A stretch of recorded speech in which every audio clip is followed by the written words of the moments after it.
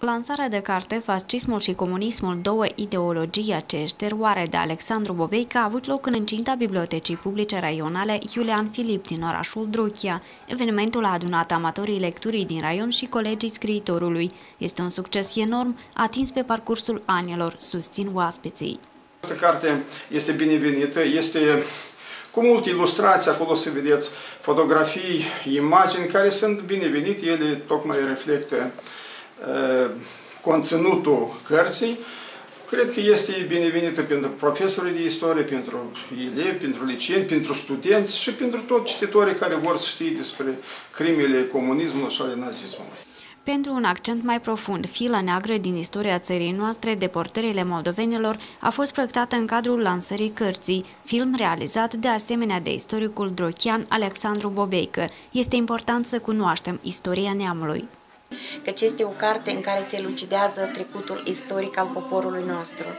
Eu consider că este foarte benefică această lansare de carte aici la Drochia, căci prima a avut loc în România, în Târgu Mureș. Noi rămâne să dorim domnului Alexandru realizări frumoase pe viitor, să, să știe că are în spate o tânără generație uh, de invidiat, o tânără generație care vrea să-și cunoască istoria poporului.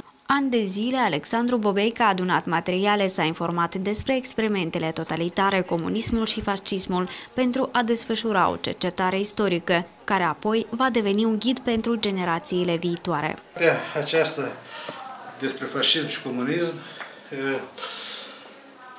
este mai mult un semnal de alarmă pentru generația contemporană, un semnal de alarmă pentru a nu admite apariția unul astfel de regimuri în viața noastră în ziua de astăzi. Codul revenirii există, persistă, pentru că trecutul istoric, în special cel nu prea îndepărtat cum ar fi regimul comunist și fascist, care nu, nu suntem la așa mare distanță de acea perioadă, dacă nu am cunoaște bine aceste regimuri și n-am luat, n-am întreprinde măsuri pentru a nu admite așa ceva, astea ar putea să revină și în acest caz ar fi consecințe drastice, dramatice pentru omenire, pentru generațiile care vin și așa mai departe. Cartea Fascismul și Comunismul, două ideologii aceeași teroare de Alexandru Bobeică, nu este prima lucrare a jurnalistului, istoricului și publicistului Drochian, fiind autorul cărților Republica Moldova între Secere, Ciocan și Nicovală, Sfatul țării standard al renașterii naționale și Drochia, Gară și Raion.